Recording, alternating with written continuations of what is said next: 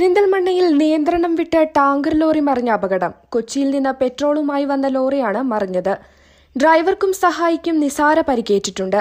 പെരിന്തൽമണ്ണ ഊട്ടി റോഡിലെ മുണ്ടത്ത് പാലത്തിൽ നിന്നുമാണ് ടാങ്കർ ലോറി താഴേക്ക് വീണത്. ഇന്നലെ രാത്രി പന്ത്രണ്ട് മണിയോടെയാണ് സംഭവം. നിയന്ത്രണം വിട്ട് ടാങ്കർ ലോറി വെള്ളക്കെട്ടിലേക്കാണ് മറിഞ്ഞത്. ഇപ്പോഴും നേരിയ തോതിൽ ഇന്ധനം ചോരുന്നുണ്ട്. എന്നാൽ ഇന്ധനം ചോരുന്നത് വെള്ളക്കെട്ടിലേക്കായതിനാൽ ആശങ്കപ്പെടേണ്ടതില്ലെന്നാണ് ഫയർഫോഴ്സ് അധികൃതർ പറയുന്നത്.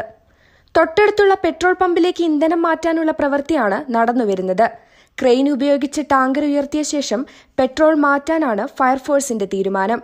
ഊട്ടി റോഡിൽ മാനത്തുമംഗലം ജംഗ്ഷൻ മുതൽ ടൗൺ വരെയുള്ള ഗതാഗതം നിരോധിച്ചിട്ടുണ്ട്.